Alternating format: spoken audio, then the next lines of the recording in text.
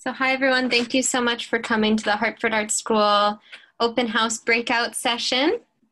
I'm Rebecca Lee. I am Assistant Director of Admission for Hartford Art School. And with us today are our amazing admission coordinators. We have Roxy Ryan and Ashley Berube. We also have with us Professor in Printmaking, Tatiana Potts, who will be giving us a live studio demonstration and Professor in Art History, Z. Onuf, who will be presenting on the importance of our art history program. We will have time for questions and answers at the end, so please utilize the Q&A function in the Zoom. You know, you can enter in questions at any time and we'll make sure to answer all of those for you either during or after the presentations. Um, so we'll start with a short video.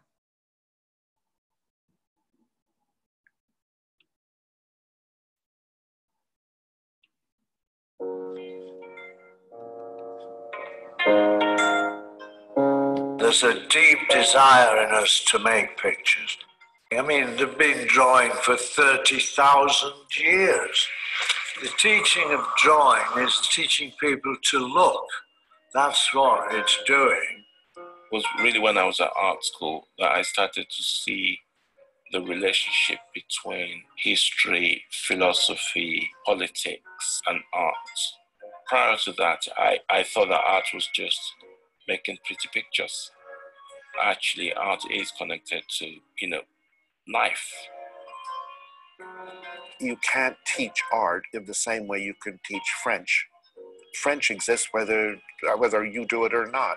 But when you're doing art, the center of doing art is in yourself most of the literate subjects do not ask that of them.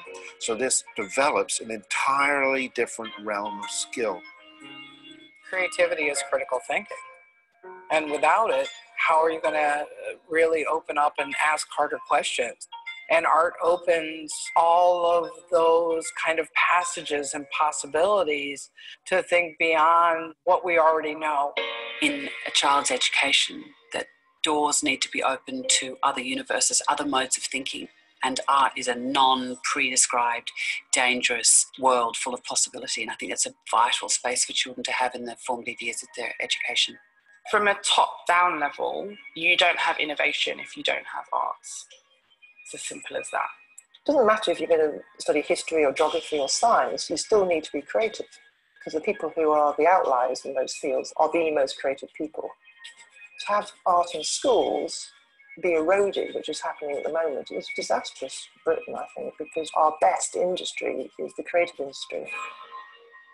Art and cultural production is at the very center of what makes a society what it is. And for an entire new generation not to know what is the cultural and visual history of ourselves is kind of denying our own identity art is a reflection of the society that we are, the kind of mirror that art holds up, the way that art helps define the identity of a nation, that you can trace that back historically.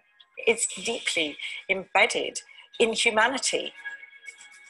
What art education does to people who are not going to be artists is giving them the opportunity to build certain aspect of themselves that otherwise will be either ignored, undeveloped, or repressed.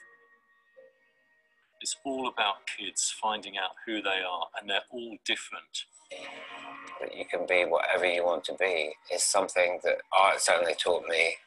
It can access a part of your brain, body, spirit, mind that nothing else can nothing is more stimulating, exciting, consoling than looking at a brilliant painting. Art in schools shouldn't be sidelined. I think it should be right there, right up in the front, because I think art teaches you to deal with the world around you. It's the oxygen that actually makes all the other subjects breathe. There's a great quote by John Ruskin art shows us what it is to be human and really that's that's why art should be on the curriculum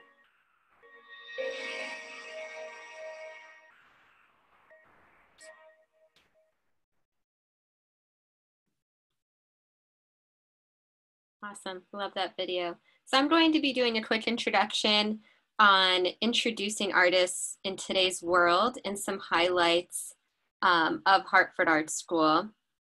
That video in this article is from the Tate Art Museum in London. The importance of art education is a global standard. Art is an important part of every aspect of our lives. Everything we do stems from creative learning at a young age.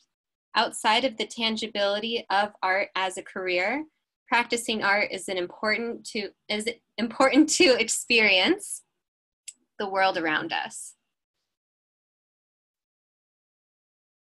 Art changes how we see the world. It's really as simple as that. Art allows us opportunities to see everything around us from a different perspective. It's a language that we can create, teach others, and learn from. In 1985, a group of female artists founded the Guerrilla Girls. They dubbed themselves the conscience of the art world. They started making posters that bluntly stated facts of discrimination and used humor to convey information, provoke discussion, and to show that feminists could be funny. They assumed the names of dead women artists and began wearing gorilla masks when appearing in public to conceal their true identities in order to focus on the issues at hand. They, they did this through the use of provocative text, visuals, and humor in the service of feminism and social change. Artist Robert Rauschenberg created global programs emphasizing the importance of freedom of creative expression and human rights. He traveled to countries around the world, often where artistic experimentation was suppressed, creating collaborative art exhibitions in those places. The purpose was to spark a dialogue and achieve a mutual understanding through the creative process. Our world is experiencing difficult times to say the very least, and art has never been more important as something to rely on as an outlet a resource, and a way to bring people together. So in times of crisis, we need humanity, expression, and the community that the arts create. Throughout the rest of the day and through the rest of this presentation, I want you to look around you and notice how much of your daily life incorporates art and design.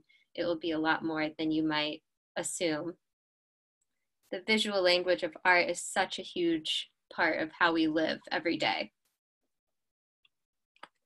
Art is a part of everything we encounter on a daily basis, from video games that we play, every single app on your phone, to fashion design and everything in between. All of these things are designed by a team of artists and creatives.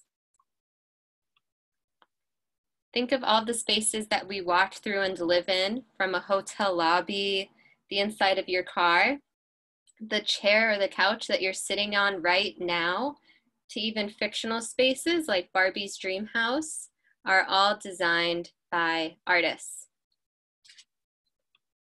We all know that Da Vinci is famous for creating the Mona Lisa, but he is also widely known for his inventive drawings for flying machines which much later led to the creation of the helicopter. So, art as innovation. From the history of photography in the early 1840s, we are seeing the world for the very first time. And in the shortest amount of time than any other medium, where photography is today, we can photograph into outer space. Penn State facilitated a project that brought ceramic artists and engineers together to make ceramic water filters for area that didn't have access to clean drinking water. So there's really no limit to what the arts can create and impact. And there is a ton of research out there. This is just one example showcasing the importance of arts in one way. And here's a list of many articles that just our office has found so there's really a lot of research out there to be done on these topics. So a little bit about Hartford Art School. The University of Hartford is made up of seven colleges that all share one campus together. Hartford Art School is the top right picture, the yellow building. The university is made up of about 4,500 students. The art school makes up about 310 of those. There are 100 undergraduate majors on campus, including nine in the art school, which allows for really unlimited possibilities to take classes, minor and double major in any area you're interested in across campus. So it's a pretty unique situation.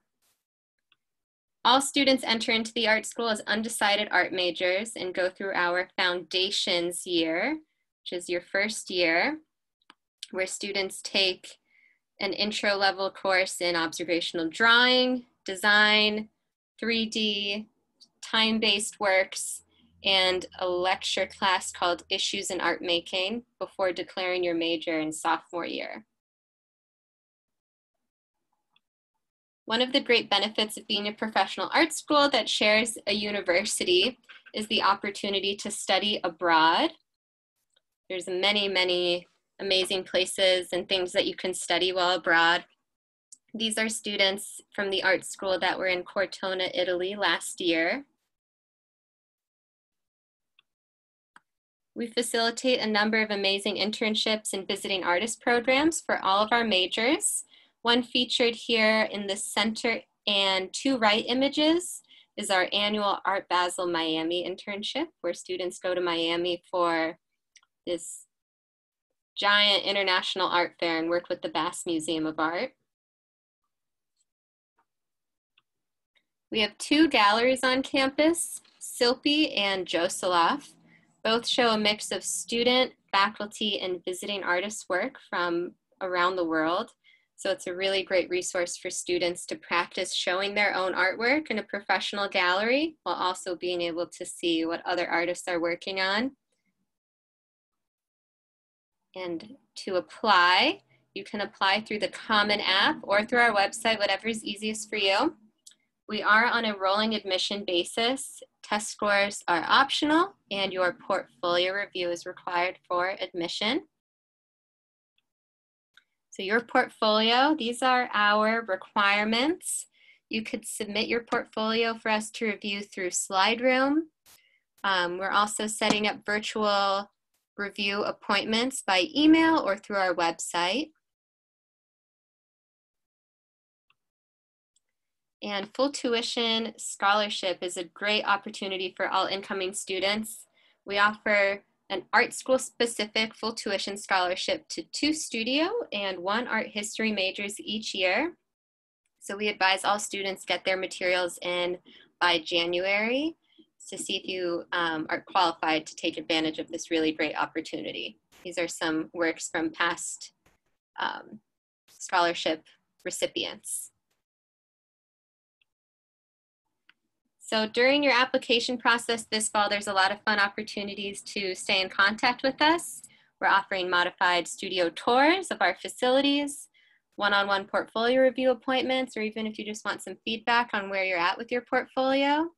And we have some fun interactive virtual events um, coming up in this event that you're at right now too.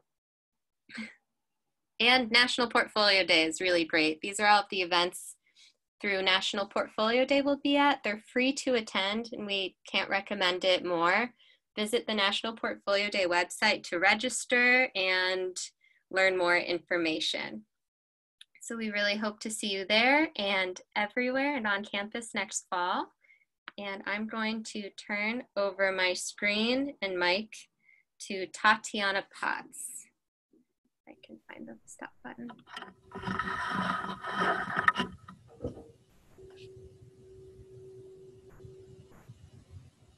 So shall I go ahead? Hello. Yeah. okay. Yeah. So my name is Tatiana Potts, and uh, I am a professor um, in the Department of Printmaking and Book Arts. Uh, printmaking encompasses uh, we teaching there uh, the different techniques. For example, we work with metal like copper plates. That would be class called etching. Or we can do what you might be familiar with, uh, such as relief printing that involves using the um, wood or linoleum. You might be familiar with that from high school.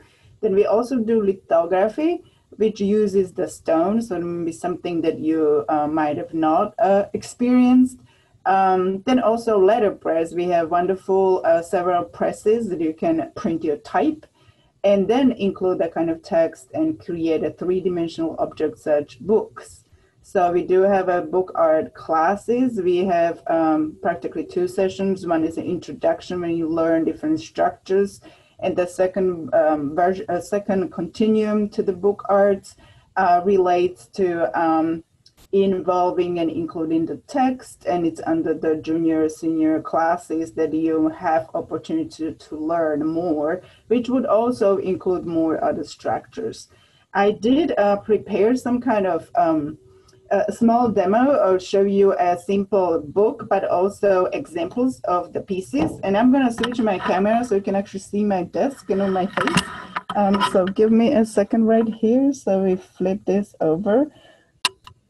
Um, so you can see on my table over here that I prepared little mini uh, shelf from the minis.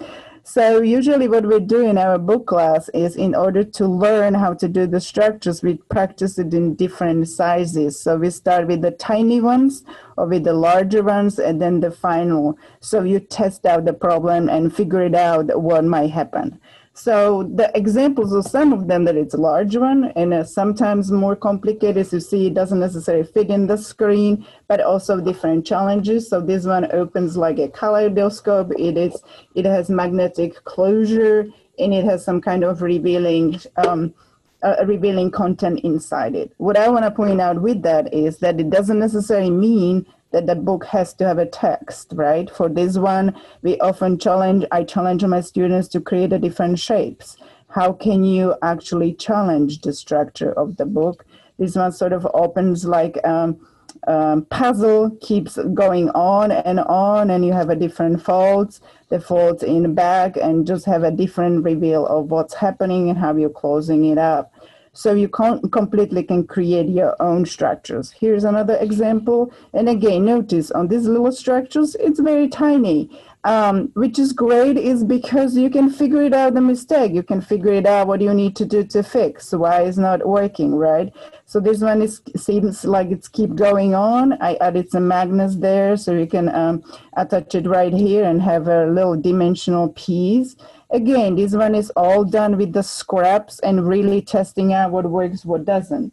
Believe me, things doesn't always work out. Like in this book, I was really challenged of like was interesting in different shapes and wanted to fold a different way. But in this case, you can see that I didn't account for enough space, so it doesn't really close. So there you go.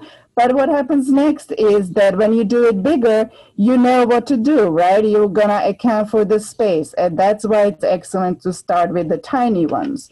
So as I showed you in this example, we will make a little bouquet so we can actually hold all your little samples and also experiment. What I also wanted to point out, like in this example, um, because of pandemic, we often didn't have access to nice uh, material. I was using a lot of recycled material. So this is basically cut out the catalog from jewelry, or I believe that was a Jerry Rama, some advertising in there. So I created this box out of literally that paper, everything recycled, and then inserted a tiny little book that was actually drawn and not printed. And again, challenged myself with different shape.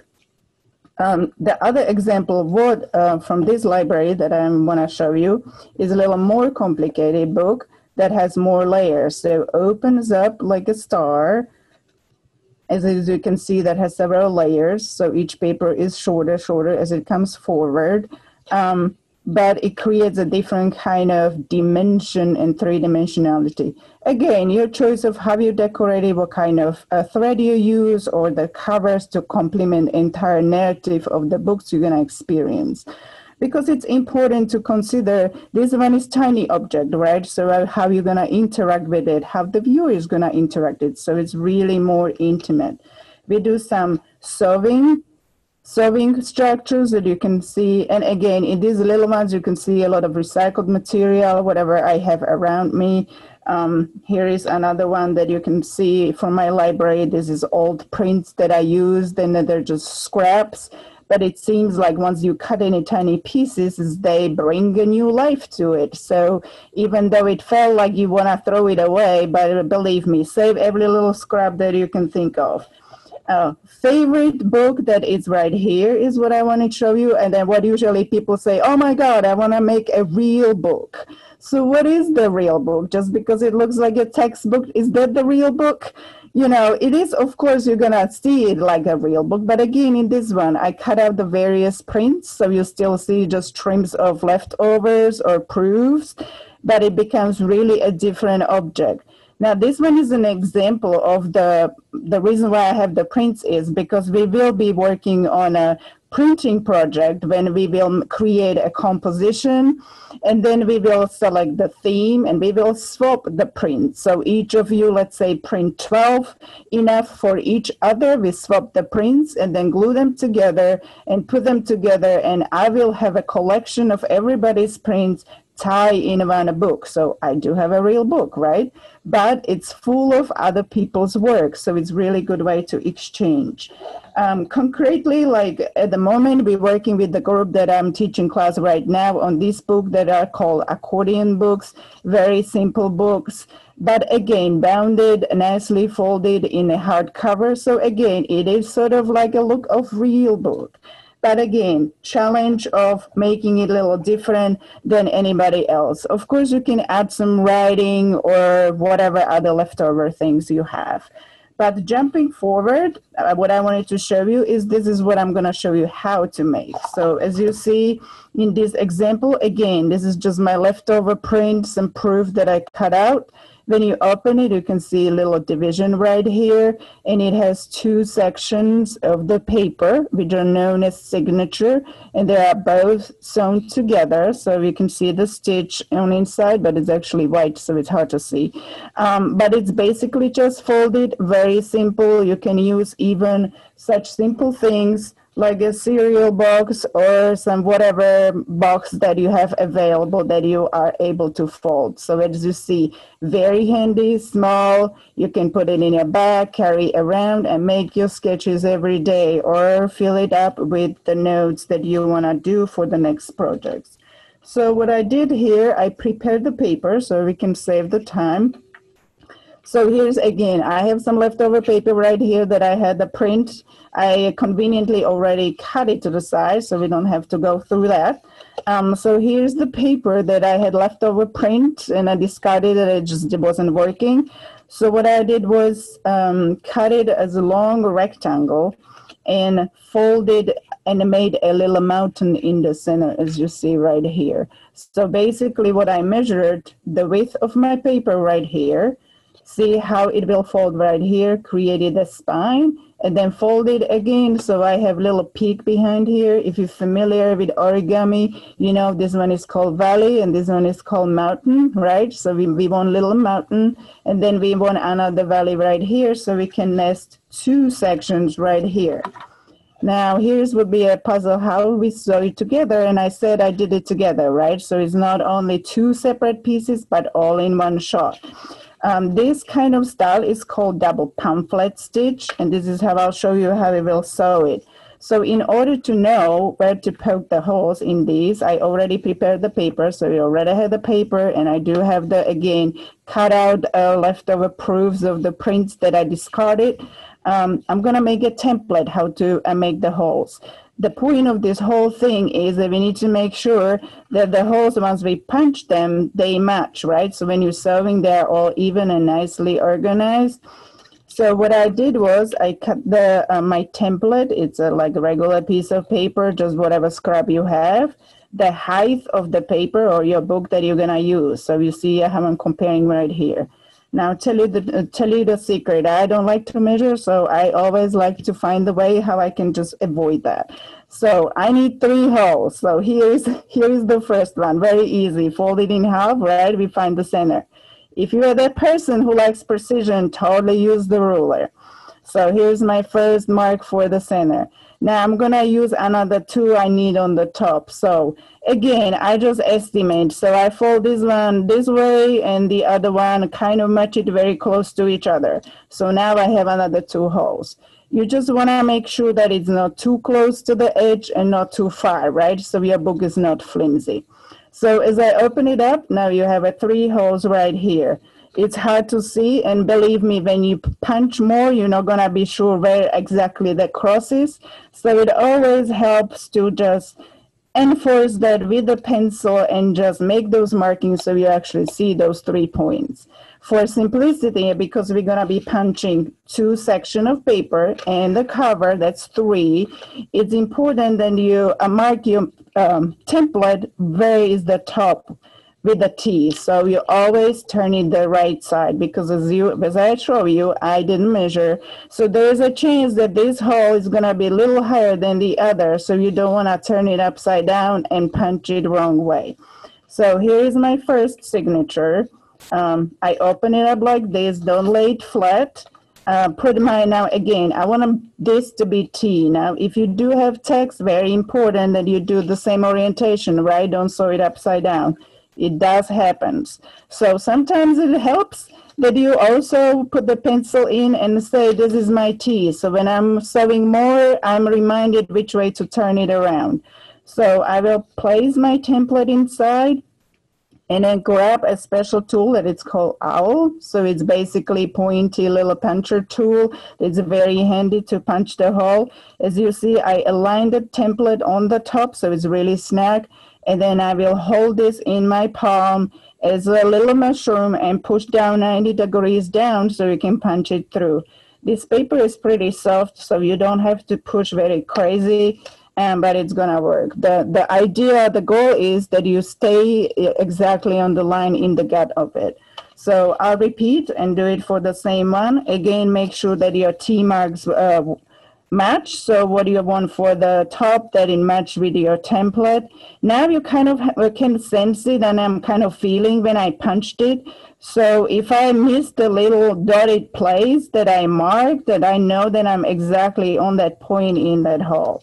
Now you might be puzzled what I do with this cover, right? I have two sections and I have the little mountain, so what I'm gonna do. So what do you do, you're gonna treat it the same way as a signature. You're gonna punch it fold it over and pretend that this is just short side of the paper and this is longer. So punch it exactly the same way all together. So if I'm considering this is gonna be my top, so then I'm gonna match it with my T again, um, add it in here, and then hold it up like a cradle, and again, sends where that hole punch through the paper and punch my cover.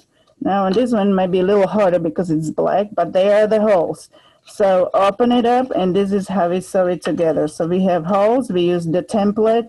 So I'm gonna use this one and sew it on the right. This one I'm gonna sew it on the left. So I'm gonna grab the needle that I already conveniently have it threaded. I'm gonna use green, so you hopefully you'll see more of it, at least in the center. Um, the thread is usually waxed, so it's a little stiffer, which is very good because as you notice, I really don't do really careful holding. The needle is not gonna fall out, so that's really convenient. Um, so no tying the knot around to be worried about that kind of issue. Also, the thread is very strong, so it doesn't frail. And also, it's important, it doesn't twist on you. If you ever embroider, that kind of sometimes might drive you nuts. How those knots always happens, this is not gonna happen. So that's, and it's sturdy and it's still archival. Usually it's waxed with beeswax. So when you start to uh, sew, you still don't do a knot, you just start without it. So the trick is how to sew this all together. So you hold this I'm gonna push my computer a little further away. So what I'm gonna do, I'm just gonna hold it. So I'm opening up this side. I'm opening up this side in the center, right? When we're gonna sew it, uh, squish it together with our cover, lift it up, and just sew it all together. When we start, we start in the center. So we have the center hole. Now it might go a little um, harder because you have three sections to go through so you can actually see and you can go one by one when you're starting. So I'm gonna go through my first signature, the big gathering. Then I go through my covers, you can see right here, and then I'm going through the second one. So as you see, I made it through.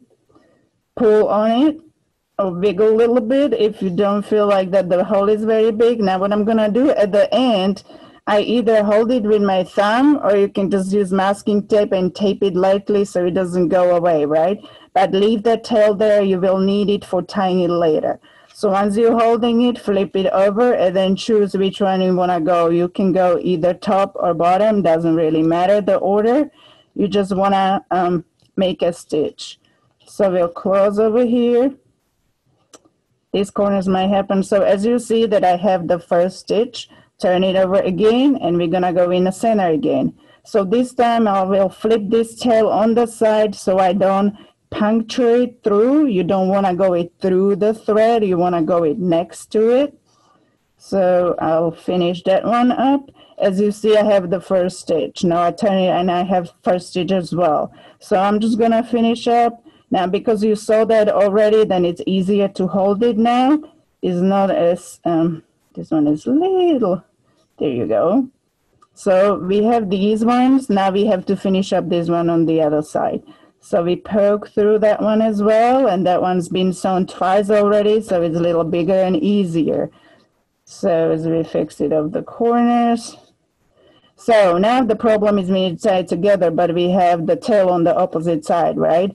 So in order to bring it back, we need to go back in the center, but we just came from there. So if you just go and punch through it, you unravel what you just did. So in order to prevent that, what you're gonna do, you're gonna create a, what's known as a kettle stitch. You put the needle under right here, kind of loop it around, under and under. So you, you make a little loop, as I can slowly show you right here. So you tag your little thread around it, loop it around, and then go back in the center. So this way you know it's not gonna unravel. There, so you have a nice finishing tag right here, but you also made with your tail right here. So at this point, all you do is do um, square knot, it's called square knot, that's the same that you put um, make a knot on your tennis shoes lace, shoelaces. And typically in a small book, just um, cross stitching, cross knotting it twice. That's plenty. You don't have to do more. It's gonna hold. Remember, this thread is also waxed, so it's pretty strong. And then just trim the excess off. Don't go too close in case it's unravel. You can fix it. So that's all sewn, and you have it nicely sewn. So what you do, just you just close your book so he was the first signature, right? Here's our cover. Here's the other cover, and here's the other signature right here, right? So see, it's a little, um, it's a little thick. So what I do is I'll take this tool, it's called bone folder, that you can compress it a little bit so it's lays flat. The paper do what, what you want it to do, and you have your nice book that you have the beginning of the one side of the signature, then you have that division, and then you have the other part right here. And you're ready to put it in your notebook and carry it around everywhere with you and write the notes and make a little sketches. So that will be all.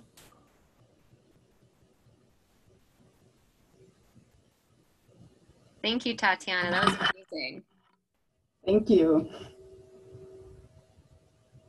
Okay, and we're going to turn the screen over to Z Onif with art history. Okay, let me share my screen. I just want to um, thank you all for coming and to uh, tell you a little bit about, are you, uh, let's see what I've got here. Let me share my screen. This is sharing my Zoom. So let me quickly just switch over to my PowerPoint and get that started. Working? Yes, looks good. Okay, terrific. So um, I just want to say hello, hi, uh, welcome, um, introduce myself. My name is Z, uh, and I am the chair of the art history department in the Hartford Art School. Uh, we are a department of three full-time faculty and a whole bunch of additional faculty who come in to teach in their areas of expertise. Um, and what we do uh, is sort of um, uh, both assist in teaching classes for Hartford Art School studio students, and we also offer a major and a minor in the discipline of art history itself. So, uh, and we, we find that a lot of students actually, when they have the opportunity to take some art history, uh, will actually decide, oh yeah, I'm really kind of excited about this, and they decide to minor. We have tons and tons of people who are doing studio majors who also minor in art history. Uh, and then we also have a bunch of students who are, uh, as um, Rebecca talked about earlier, double majoring. So uh, right at the moment, I think we have three uh, ceramics majors who are also art history majors, uh, and one um, illustration major who's also an art history major, as well as you know a handful, large number of just straight art history majors. So it's really kind of cool that we are housed in the Hartford Art School and allow that kind of crossover to happen. Um, and uh, every Hartford Art School student, whether you're a studio person or an art history person, will take some art history. Um, and so we try to accommodate as many different avenues and interests as you may have. So uh, though we're relatively small, we really do have, I think, I don't want to brag, but uh, an enormous range of courses that we offer, both at the sort of introductory level and then at more advanced levels, uh, more in-depth kinds of classes. So for example, just this semester, we're teaching um, sort of a history of Western art one and two. So we start with the cave paintings and go up through Gothic cathedrals, and then we pick up with the Renaissance and go on into contemporary. Uh, but we're also um, uh, offering an introduction to the uh, history of Islamic art and uh, what's a course that's called American Crossroads, which thinks about the uh, connections and the conflicts that occur uh, with the um, uh, various Native American cultures and their interactions with um, colonial settlement and things like this. So it's really kind of a range, even at the introductory level, of the kinds of ideas and the material that you'll be looking at. And then at the upper level, uh, again, this semester we're offering medieval art, Northern Renaissance art, a history of photography. I think there's an impressionism and post-impressionism class, a history of Chinese art, um, a history of women in art. So there's really a variety that I think will uh, help everybody who is taking the classes to find the thing that kind of sparks them uh, and, and give you the kind of uh, background and the knowledge that you need to, uh, to sort of make your own practice as strong as it can be.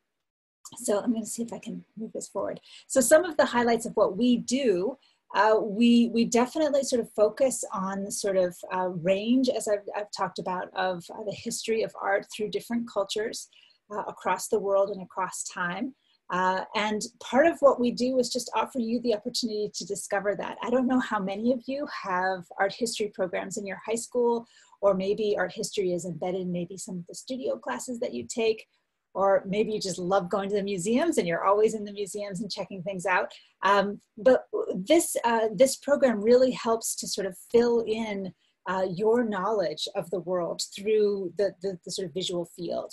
Um, and I think just to pick up on some of the things that um, were talked about in the video that, um, that uh, Rebecca showed at the very beginning, uh, I, I, also want to stress, you know, one of the things that Catherine Opie said in that video is that uh, you really need to be become more adept at decoding our visual world and thinking uh, carefully about what you see, developing that observational acuity and the kind of attentiveness uh, to the world around you, both its artistic forms, the way that the world is designed, uh, in order to develop critical thinking, to really be able to, to, to put the parts together and make sense of the world more broadly. Uh, and that we do in the art history program primarily through uh, writing uh, and through uh, research and those kinds of projects. But they come to bear, I think, also in your studio classes as well. There's a bunch of times when students have said, you know, well, I learned about this thing in art history and look, I'm doing this other thing in my painting class and it's really interesting how the two things are coming together. So we really think of that as a kind of synergistic opportunity to help you uh, get the kinds of skills you need, the visual skills and the historical knowledge uh, to put that into uh, to good use and to good practice. We do a lot of teamwork uh, in the classroom, a lot of sort of um, uh, group research and presentations. We also really um, emphasize getting out in the world when that's possible. So we have a lot of opportunities for internships uh, in some of our local um, uh, institutions as well as on campus. And as Rebecca mentioned, also uh, some of the art history students have gone down to Miami for Art Basel and things like this. So there's lots and of opportunities to kind of put your skills to work. Um, we also really uh, encourage study abroad. So a number of our students have studied in Spain and in Italy, in Australia. We have, I think somebody went to Japan at one point. So the, the, the opportunities are really uh, pretty extensive and that's very exciting too to be able to sort of use what you've used here learned here on campus and in connecticut and then apply it to the broader world out there uh, so we we sort of try to facilitate all of that as much as possible uh, and i thought you know uh, since everybody who comes to the hartford art school will be taking some art history and some of you might get so excited that you take a lot of art history and you might end up even majoring in art history. Uh, I wanted to just give you a sample maybe of, of, of one of the projects that I'm doing now in one of my survey classes because uh, it's the kind of it's the kind of course that you might start with. This is a history of Western art one, uh, and we've been looking at um, some of the works from the ancient world. So uh, we have here uh, a, what's called a stele on the left of Naram-Sin, who is a great warrior king. And then on the other side, we have a seated pharaoh, Khafre, from ancient Egypt.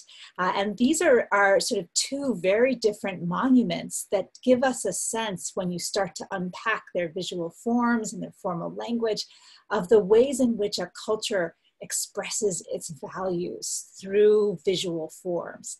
Uh, and there are a lot of similarities, but there's also some very distinct differences between the kind of more military might and physical strength that we see uh, in Naram-Sin on the left here compared to the relatively calm and stoic and eternal kind of figure that we see with Khafre on the right. Uh, and so we've spent some time really sort of unpacking these figures and thinking about not only the way that they're presented, but also some of the symbolism that's embedded in the images. And then I said, okay, so go out uh, and think about your world and where you see monuments or images that uh, represent maybe the values that we have come to sort of try to hold uh, up in our own culture. Uh, so all of the students went out and uh, thought about which monuments they sort of think of when they think of the United States. So we got some examples like the Lincoln Memorial, the Statue of Liberty, and really thought about what kind of images are being used here and what the values are, what the, the sort of concerns are that are embodied in these figures. And then the final step was okay, so you are on the Monuments Commission, and what would you make right now as a monument of our times? Like, what do you think is the kind of thing that uh, needs to be brought to the attention of the wider uh, public and how would you represent it? Uh, and every student then went and uh, talked to, amongst each other and came up with some rough sketches uh, some cases more finished than others of the kinds of, of monuments that they think really speak to the concerns that we're facing right now. So on the left uh, there was this is one example of about five of the monuments that people came up with to honor uh, Ruth Bader Ginsburg uh, and her at the moment of her passing.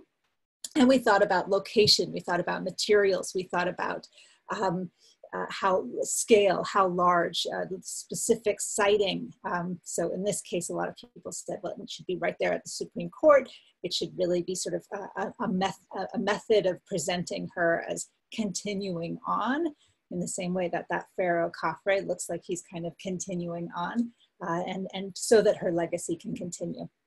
And then on the right, this is one of a number of, of uh, sketches that students came up with to think about honoring um, emergency responders uh, and uh, healthcare workers. This is a doctor. You may, may be able to make out a little stethoscope around uh, the, the neck here uh, reaching down from the pedestal to the people. And this is a kind of another way we thought about gesture and body language and posture and the kinds of values that that perhaps can convey. So this is just a, a kind of um, introductory assignment that gets, I think my hope is that it gets uh, the students in the class to sort of make connections between the ancient past, which might feel like, oh my God, that's 5,000 years ago. How can that possibly be relevant? Uh, and then what's going on right now with us and how we might put some of that visual knowledge to work in thinking about our own contemporary circumstances and the things that we want to highlight today. So uh, as I said, all students will take some art history, uh, and uh, I think uh, Art 210, this the class where we're doing this particular project, is one of the um, sort of beginner classes. Uh, and if you end up deciding that art history is sort of really your thing, you'll end up taking a whole bunch of classes, both at the introductory level, the survey level, and then the more advanced level. Um, and a lot of times people wonder, so, okay, so what do I do then if I graduate with an art history degree? What does that, uh, what opportunities does that uh, afford me? Um, and I think what's really interesting is that uh, it uh, really is uh, an opportunity to do a lot of different things. So there are a lot of, yeah? I'd interrupt, your screen's a little cut off on the top. Mm. Um, maybe you should, I'm sorry to interrupt what you're saying. Could you try exiting out of the screen share and starting it again, that might help. Yeah, and I can also, um, if it would help, I can also not put it on presentation mode. You can see if this works better. No, it's still, it's like zoomed in a little bit, but it's cutting off your chart. I have this weird green box in the middle of my screen, which I also don't understand, but um, uh, okay, let's see. So when I'm in it, there is, can you see that better? Okay. Better. Okay. so um, does that work? That's perfect. Thank you. Okay. So no, the, I think the green box is what is telling me what you're seeing. Ah, okay. living and learning with technology i'm telling you it's been, it's been a wondrous week. Um, so uh, when we're thinking about what art history opens up uh, there are sort of uh, traditional careers there are uh, jobs in museums curatorial and conservation jobs. I have a, a couple of students right now who are interested in going into conservation. So they are taking advantage of the fact that we have a fabulous chemistry department right across campus and doing a lot of chemistry in preparation for going into conservation work. Um, there's also a variety of different sort of educational jobs uh, and library and archival jobs that are uh, really within the wheelhouse of somebody with an art history background. But there's also a bunch of um, what you might call sort of non-traditional careers, uh, people who work um, in, uh, on Wall Street, in fact, uh, or, or in medical fields who have put their art history knowledge and the sort of visual acuity that I was talking about uh, to work uh, to, to think about different kinds of visual information. It might not necessarily always be uh, works of art that they're, that they're dealing with. Um, but then there are also very hands-on jobs like art installers, um, uh, people who deal with lending and moving art from place to place and bringing it from shows uh, in London to New York to Los Angeles or all these kinds of things. Uh, there are people who work in the legal field uh, related to the history of art. Um, I had a friend actually in graduate school who went on to work for uh, the restitution projects of uh, work that had been uh, looted by the Nazis and was getting returned to families across the world. So there's a lot of ways in which this is knowledge that can really be put to work in a variety of different ways, depending on what your, uh, your own goals may be, your career goals. We have a couple of students who have gone on to, um, to work in more traditional fields like museums.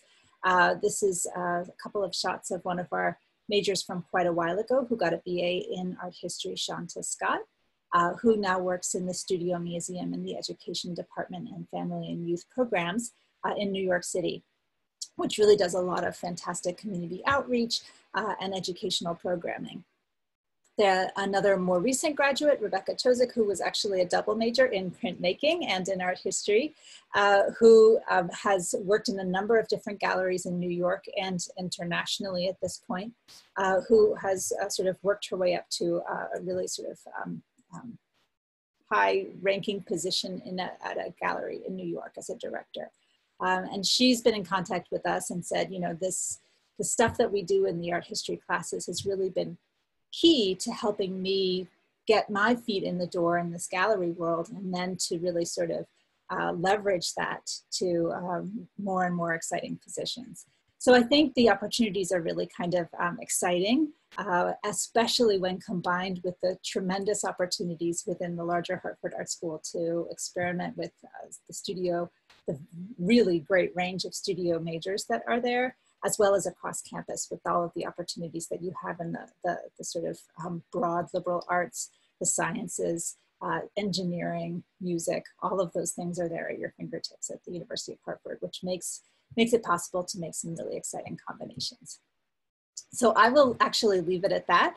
Uh, and if you have any questions, I'd be happy to, uh, to talk more about anything, any part of that presentation. Thank you so much, Z. If anyone has any questions about anything we've covered, or if you have questions or would like us to talk about something we haven't discussed yet today, please put it in the Q&A and we will gladly answer that live for you. And I will also enable you to unmute yourself. So if you'd like to ask us a live question too, we're more than happy to have a discussion.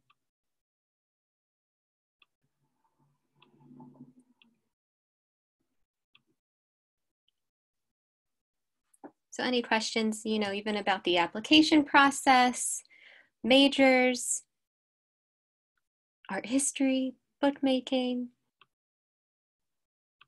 or maybe something you saw from another session during open house that you attended that you'd like um, to further discuss?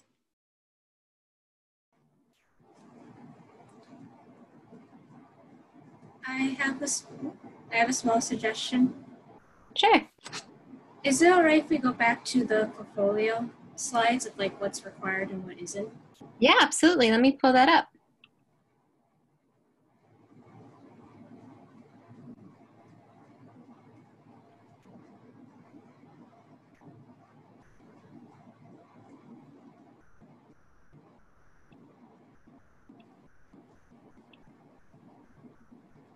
Okay.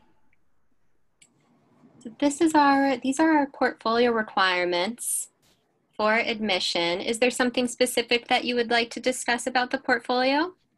Uh, are we allowed to showcase like sketches in our progress with like our photos and whatnot or like our drawings? Of course, of course. And especially with the portfolio reviews being primarily online right now, if the progress and process of how you made something is important to the work, where we would love to see those steps and images alongside the finished products. All right. That's kind of like the question I had mainly focused on. Awesome, great. That's a great question. Thank you. Of course, thank you.